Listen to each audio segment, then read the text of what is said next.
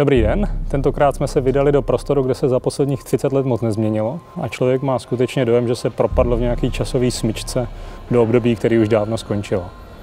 Za mě mimořádně pozoruhodný prostor. Zkuste hádat, kde jsme tentokrát.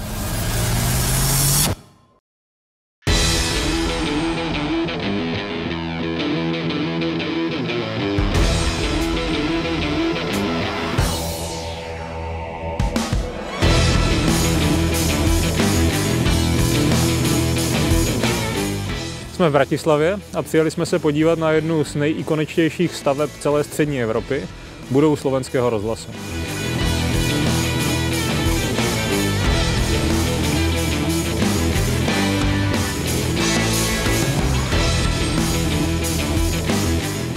Tenhle ten dům potkal podobný osud jako třeba hotel Thermal, to znamená, byl vyprojektován na základě architektonické soutěže na konci 60. let, ale jeho skutečná realizace proběhla až o mnoho let později a otevřen byl slavnostně v roce 1985.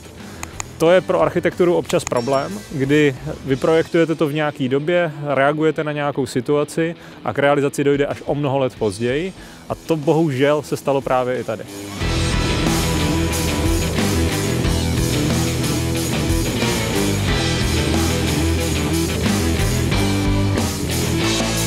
Tenhle ten dům zná v podstatě každý a cítí nějakou potřebu se k němu vymezit. Takže opravdu existuje relativně úzká skupina lidí, která ten dům miluje a já doufám, že do budoucna bude třeba trošku vyšší. A pak existuje spousta lidí, která si myslí, že to není moc dobrý. A dívají se na to z dálky a říkají jako takový ten zvláštní dům, který se rozšiřuje takhle nahoru, není moc jako zajímavý a kolem je to nějaký neupravený, no nic moc. Myslím si, že to tak není a my se na to dneska podrobněji podíváme.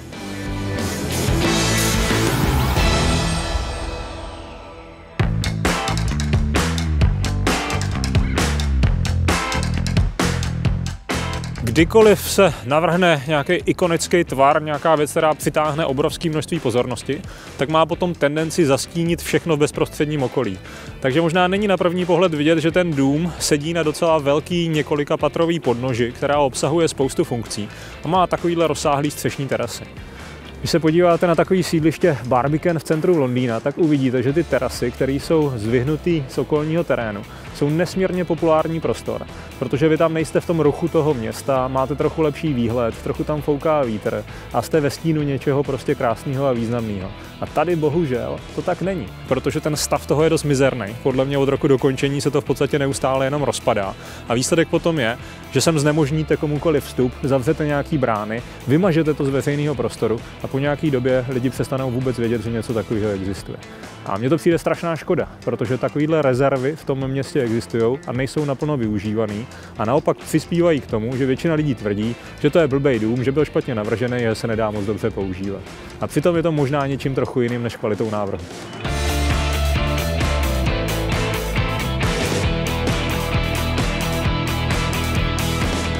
Celý tenhle ten obrovský kolos stojí jenom na osmi křížových ocelových sloupech a uprostřed má železobetonový jádro.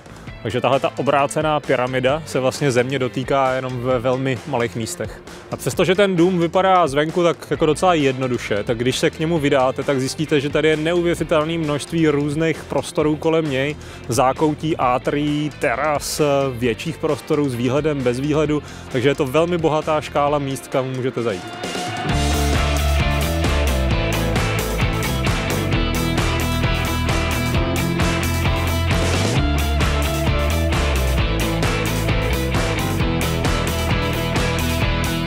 Tenhle mimořádně nezvyklý tvar má jednu nepopiratelnou výhodu a to je to, že ten dům stíní sám sobě.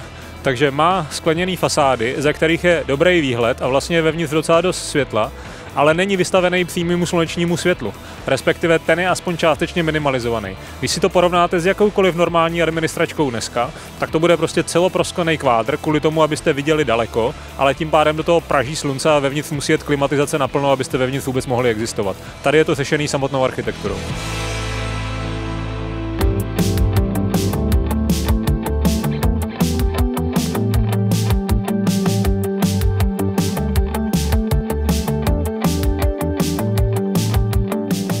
Ve vstupní hale rozhlasu a tady je několik věcí, které jsou tady opravdu z doby návrhu a myslím si, že jsou úplně skvělý. tady to sezení a svítidla, které k sobě tvarově korespondují, tak mají opravdu tendenci pro mě jako utáhnout celý tenhle ten prostor.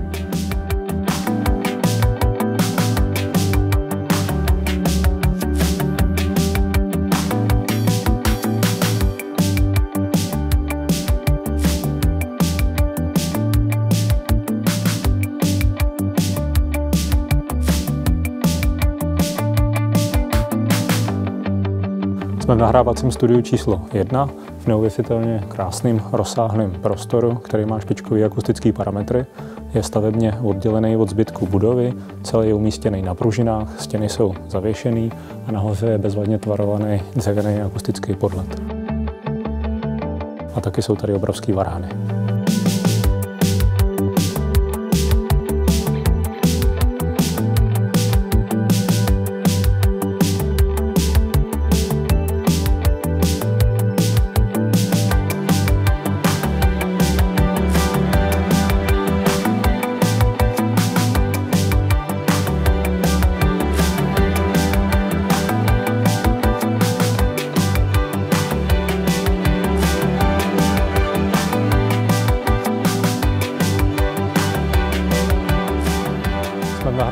Studiu číslo 5, které je v přízemí, je třetí největší a, je to jedno z těch, kam může veřejnost.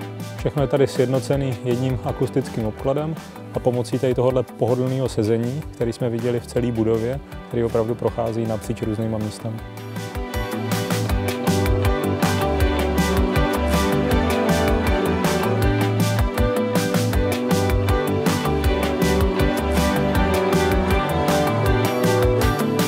Jedna z pěti slavných Corbusierových zásad pro moderní architekturu byla rovná střecha, která je ale pobytová, na kterou můžete vstoupit, jste vysoko nad terénem, fouká tam čerstvý vzduch a vy se můžete dívat na město.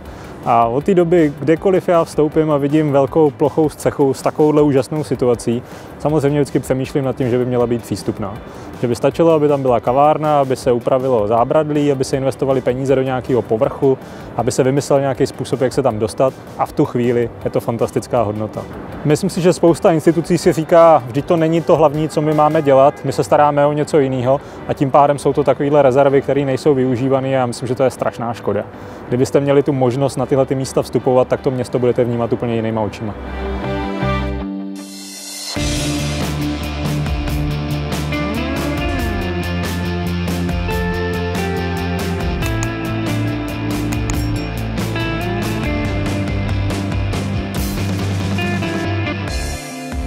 Mezi šestým a devátým patrem se nachází takovýhle otevřený prostor přes několik podlaží. A tady skutečně zjistíte, že jsou to dvě pyramidy v sobě, že vlastně mezi tím vnějším pláštěm a tím vnitřním ještě je takovýhle místo, kde můžete chodit po jednotlivých lávkách a je to úplně neuvěřitelně zajímavý prostor.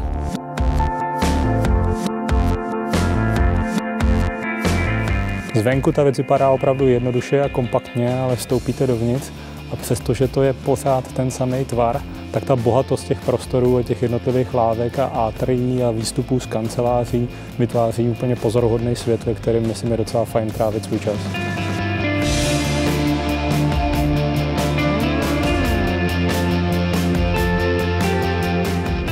Co se mi tady hrozně líbí, je, že jsou tady minimalizované prvky v interiéru, že je tady jeden typ koberce, jeden eloxovaný hliník, jedna dlažba, a když je tady nějaký dřevěný madlo zábradlí, tak je opravdu pořádný, takže jako vlastně v tomhle velkém prostoru se nestrácí.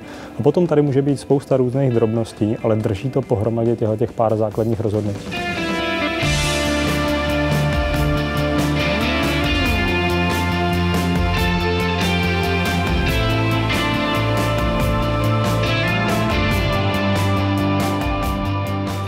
Některé věci, když opravdu vytrvají 20, 30, 40 let, nic se s nima nedělá, tak pak se stanou úplně super cool. Takže občas opatrně, když některé věci vyhazujete a říkáte si, já, tyjo, to už je nemoderní, nezajímavý, zbavme se toho, možná občas stačí trochu vydržet.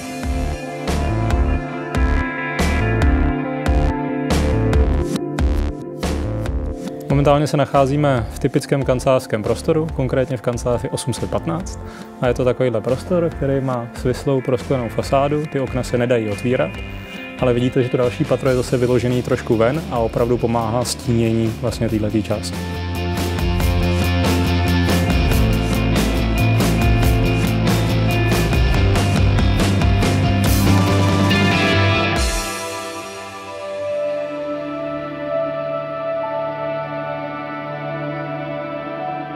Spousta budov vypadá zvenku pozorhodně a ikonicky, ale když dovnitř vstoupíte, tak jste zklamaný. Příkladem jsou nějaký mrakodrapy, kde dole je malá recepce a pak jenom běžný normální patra.